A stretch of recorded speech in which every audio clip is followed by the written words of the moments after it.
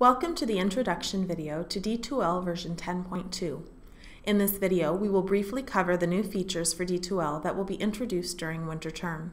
This upgrade will significantly improve the look and feel of D2L and also include changes to some of the tool functionality. All in all, it will feature improvements and fixes to D2L's usability and added functionality that will enhance both instructor and student experiences. The most significant change to the learning environment is the new user interface layout. The first thing you will notice is that a new mini-bar is always present on the top of the screen in D2L version 10.2, allowing you to access your courses, notifications, and personal settings. You can now do this from any course on any screen. Instead of having to return to the home page and search through a list of courses, you can now use the new Select a Course drop-down menu that is always available in the mini-bar wherever you are in D2L. A pinning feature has also been introduced to allow you to have certain courses always appear at the top of the list.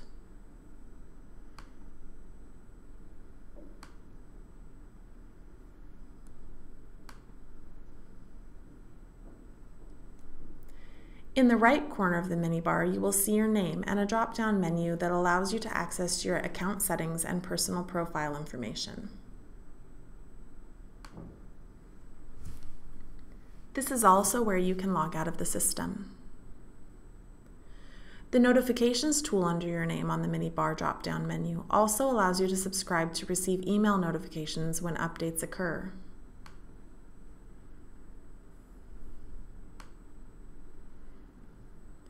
This will let you see when a grade item is released or when a grade item is updated, and can also give you a two-day reminder for upcoming Dropbox and quiz deadlines.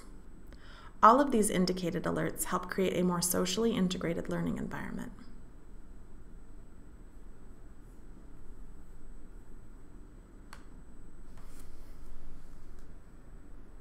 The new layout also introduces a fixed 960 width layout.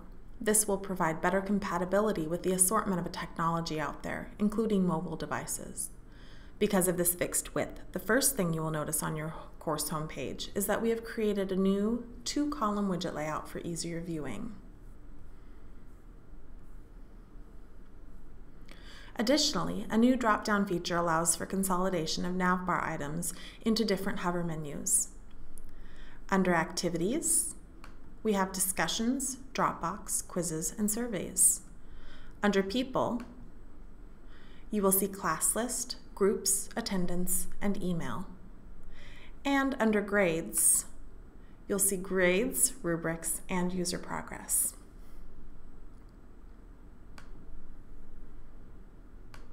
The tool that shows considerable change is the Course Content tool. As you can see, it looks much different, but the core structure of the course content is very similar to what you're used to. Content is still structured by modules and topics. However, creating modules and topics is much easier and more intuitive. Modules can be created with a simple click of a button and by adding the name.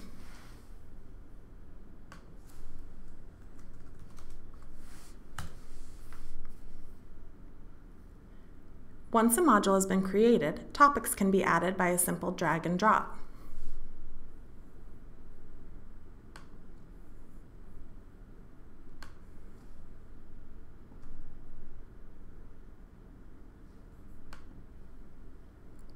In addition, you can now create Dropbox, discussion, and other activities from course content while you build your course.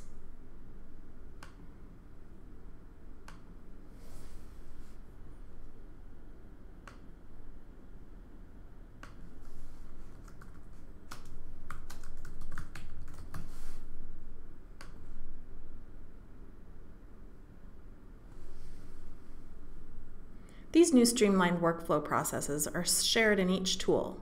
In previous versions of D2L, there were buttons, icons, and links in different areas of the page. In version 10.2, these commands are grouped in easy drop-down menus at the top of each page. Once again, the overall functionality has not changed. The commands are just located in a slightly different place. Now let's go to a fully developed course to look at the User Progress tool.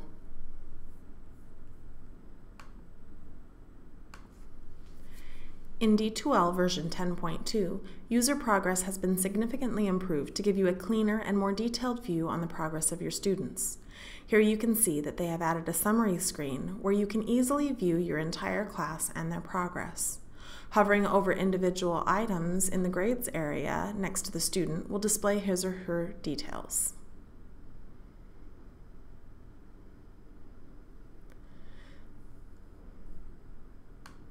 By clicking on a student's name, you can see that user's individual breakdown.